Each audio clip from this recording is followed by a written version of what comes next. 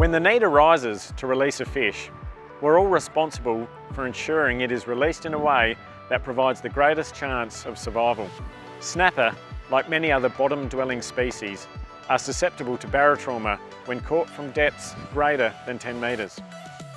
Barotrauma is a pressure-related injury that fish experience when reeled up from depth.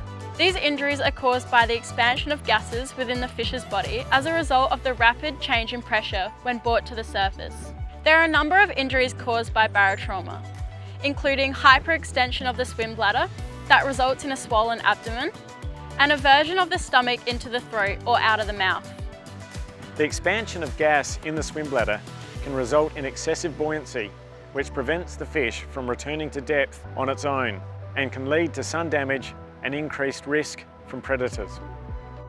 Recreational fishers in South Australia are strongly encouraged to carry a release weight when releasing in deeper water.